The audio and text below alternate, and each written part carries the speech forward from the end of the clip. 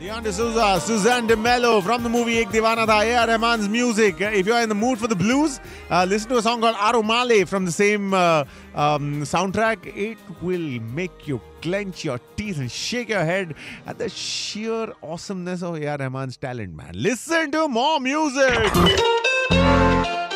That is my name. On 104.8 Ishq. And that's the frequency where we're uh, talking uh, to uh, Ruchi and Sundeep. Uh, they run the Cobalt Blue Foundation.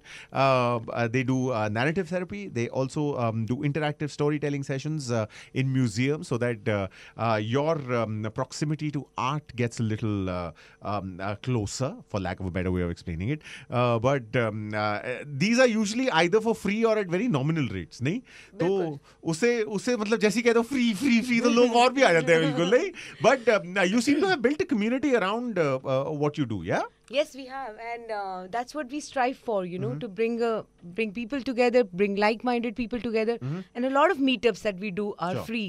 Sure. And uh, and the workshops and everything is very nominally priced. You know, so the idea is to bring more people together. Sure. And have you had uh, uh, help from the authorities as well? Uh, have you um, uh, been able to manage that?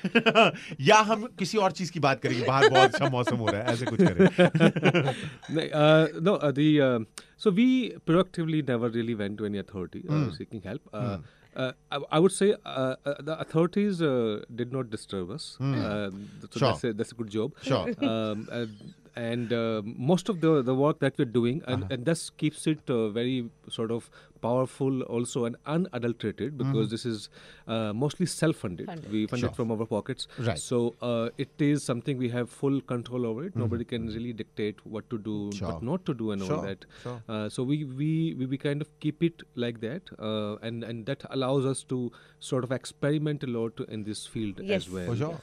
So that's and it's been a satisfying journey Oh, very.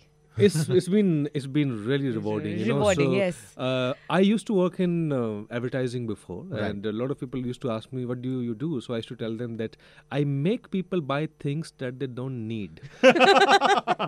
and now uh, I I really I really like that I do things for people that change their lives. sure sure And That's- that's that's the that's the thing we you know work on. Huh. You know. That's that's that's very rewarding. You know that you truly know that you are changing people's life in some manner, and that is soul satisfying. I Yes. think.